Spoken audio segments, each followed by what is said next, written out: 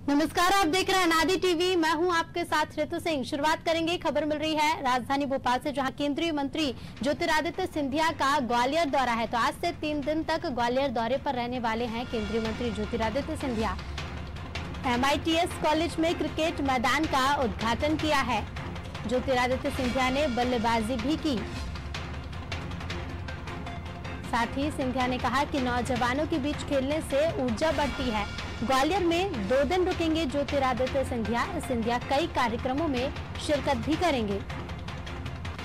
केंद्रीय मंत्री ज्योतिरादित्य सिंधिया ग्वालियर दौरे पर हैं। एमआईटीएस कॉलेज में क्रिकेट मैदान का उद्घाटन किया। साथ ही केंद्रीय मंत्री ने बल्लेबाजी भी की और कहा कि नौजवानों के बीच खेलने से ऊर्जा बढ़ती है।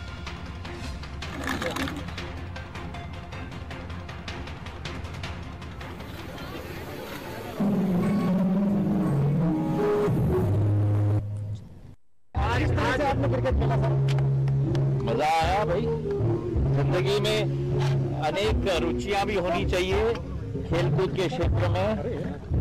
फिट इंडिया मूवमेंट हमारी सरकार की है और एक बुढ़ापे के तर्ज पे भी चलते चलते एक नौजवानी सदैव खेलकूद के क्षेत्र में नौजवान पीढ़ी के साथ रोमांचक रूप से इंगेज करने का एक माध्यम